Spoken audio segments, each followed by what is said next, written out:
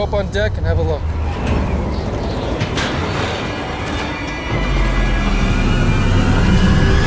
Jesus, Mary, Joseph.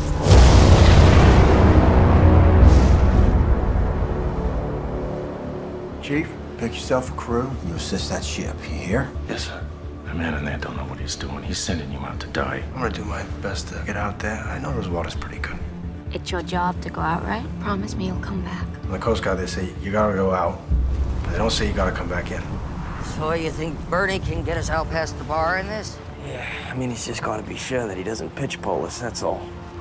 Huh? The power of the waves on that bar, they can pick you up, they can turn you end for end over and over again. There's no way to survive that. That's pitch poling.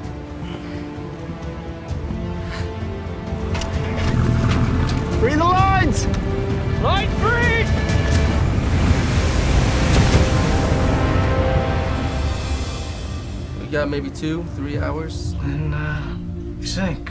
I figure that you know the boat better than anybody. I think they'll listen to you. Listen to me. Thought those men don't like me. They might not like you, but they'll know to listen to you.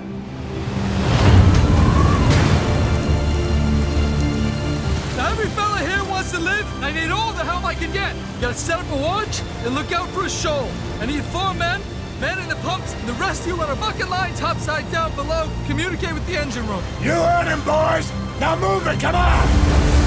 There! A shoal about a mile distance!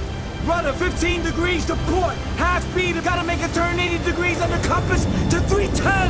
Rudder 15 degrees port. Half speed, 80 degrees to 310 on compass. 15 degrees port, half speed, 80 degrees to 310 on compass. Rudder 15 degrees port. Half speed, 80 degrees to 310 on compass.